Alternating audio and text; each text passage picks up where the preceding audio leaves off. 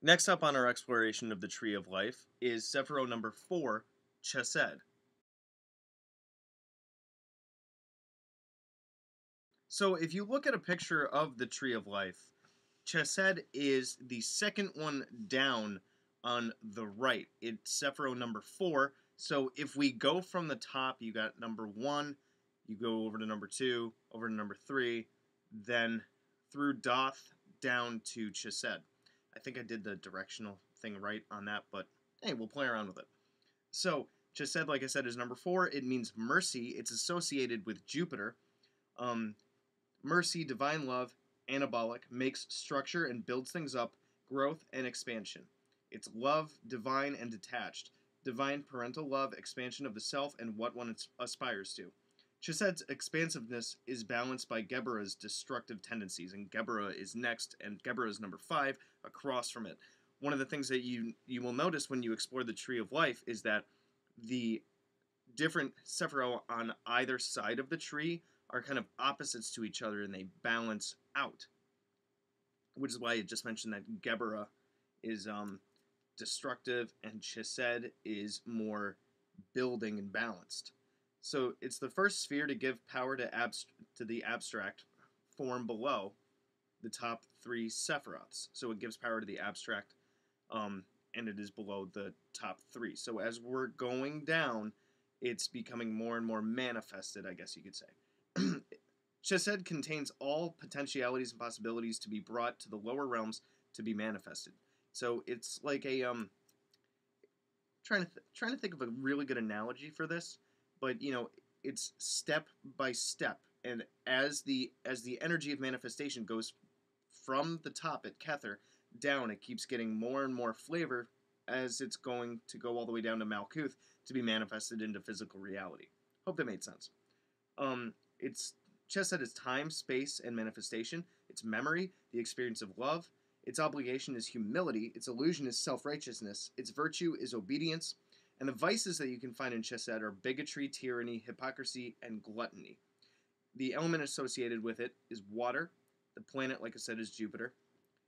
Uh, its image is a ruler on a throne. That's another another interesting thing when you tie it to um, the Mesopotamian ideas and the um, Chaldean classical order of planets and the deities that are associated with different planets. You have Marduk, who is well, after the whole Babylon, the rise of Babylon and everything, he's the boss, he's the king, right?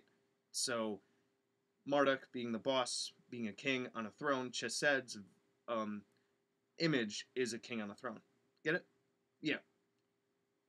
So the archetypes of Chesed are the Sky Father, the Wise King. The deities are Zeus, Jupiter, Poseidon, Amun Ra, Marduk, Dagda, Taranis, Thor, Bragdi, or Bragi, sorry, Bragi, um, Indra, Brahma. The archangel associated with it is Zadkiel. It starts with a T and then a Z, Zadkiel. The order of angels is the Chashmalim, which is the brilliant ones, and the tarots associated with Chesed are the are the fours. So the fours of all the suits. Its metal is tin. Its animal is the unicorn.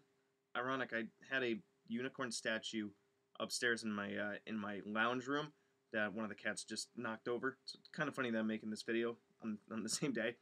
Um, the musical note associated with it is G. The tools are the wand, the crook, the scepter, the pyramid, and the equally armed cross. the incense is cedar. Interesting. Marduk, cedar, right? Um, st- the stone associated with it is amethyst. The plants associated are the olive and lemon balm. It's connected. If you look at the paths on the on the tree, it's connected to Chokmah through number 16 through path 16, and the letter for the Hebrew letter for that is Vav.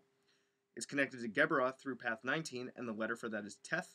It's connected to Tifereth by path number 20, and the letter for that is Yod, and is connected to Netzach through path 21 with the letter Kaf.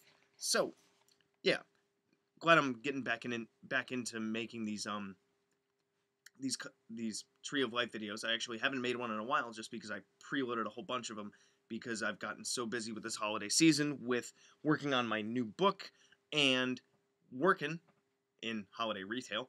And uh, I actually just picked up a, a new um, teaching job for this upcoming uh, year for a couple of months and stuff. So that's going to be good. So, like I said, like I've said before in, all these, I am in no way, shape, or form an expert on the Tree of Life. But as I'm digging into it and learning it, I thought of sharing it with you guys because when I make a video on things, I reach other people that might be interested in this stuff or might know more about it than I do, and I really like the conversations that I can get into with some people. Speaking of the conversational piece, you can leave any, you know, questions, comments, complaints, concerns, and issues down in the comments below. You can always email me at priestthenecro at gmail.com. You can also find me on Facebook. I have a page, which is Magickology YT, Magickology, like my channel, followed by the letters YT. And through that Facebook page, you can also find a link to my Amazon authors page where you can find all four of my books Magical Theater, Magical Mechanics, The Guide to the Spheres and Beyond, and Handy Sigil Magic, which is upstairs at this point because I brought I forgot why I brought it upstairs, but yeah, it's up there. So as of this moment, it's not on display. I should really go get it. Biggest gag on my channel, it's upstairs. But if you've been here for a while, you know that. So, with all that being said, let me know. Let's start a conversation. You can always email me for things. Oh, yeah. You can also check out any of my other playlists. I have my General Magic playlist. I have my Necronomicon Studies playlist. I have my Theories of Magic playlist, my Tulpamancy playlist, my Random playlist, my my playlist on stones, my playlist on gods and goddesses, and any other ones as I continue to grow here. So you can always find a whole bunch more content that you can connect with me about and talk with me about and email me about and now even Facebook me. So, yeah, let me know. Let's, you know, let's get to chit chatting and whatnot. And I hope you guys like this. Good hunting.